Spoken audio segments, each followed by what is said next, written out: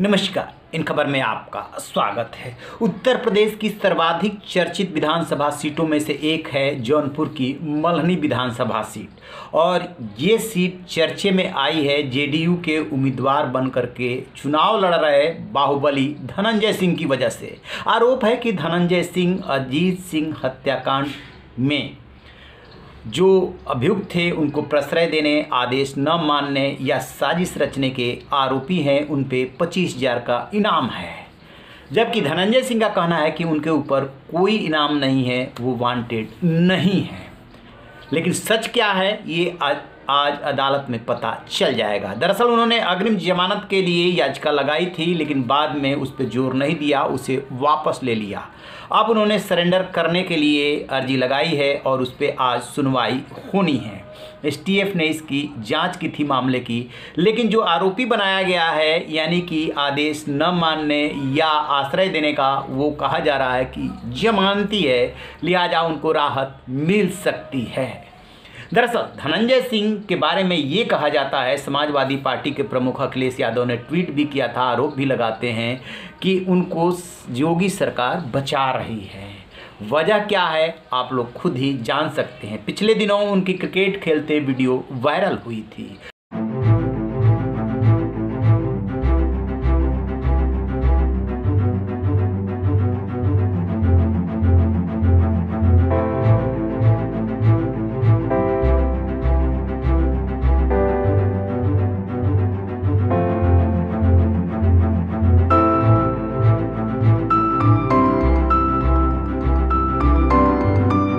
सांसद हैं और अब वो मलनी से जेडीयू के टिकट पे चुनाव लड़ रहे हैं। बाहुबलियों में गिनती है। और दस से अधिक मामले इनके खिलाफ बताए जाते हैं, लेकिन उत्तर प्रदेश पुलिस को वो नज़र नहीं आते हैं। नज़र आए भी क्यों?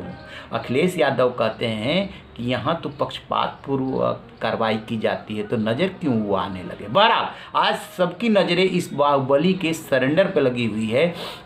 कि जो वांटेड है या जिसके ऊपर पच्चीस हज़ार का इनाम है, वो चुनाव लड़ रहा है, प्रचार कर रहा है और पुलिस को नज़र नहीं आ रहा है। जब दबाव बढ़ा तो फिर उन्होंने जमानत की, सरेंडर की अर्जी लगाई।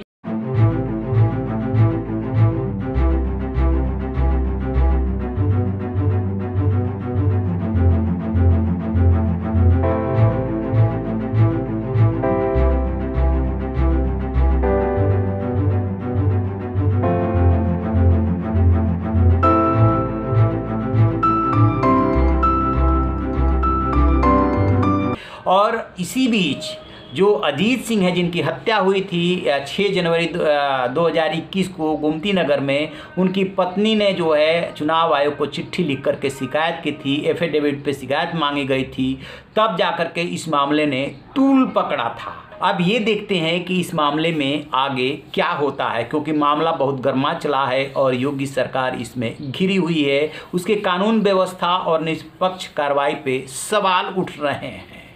तो आप रहिए ना बेखबर देखते रहिए इन खबर। Thank you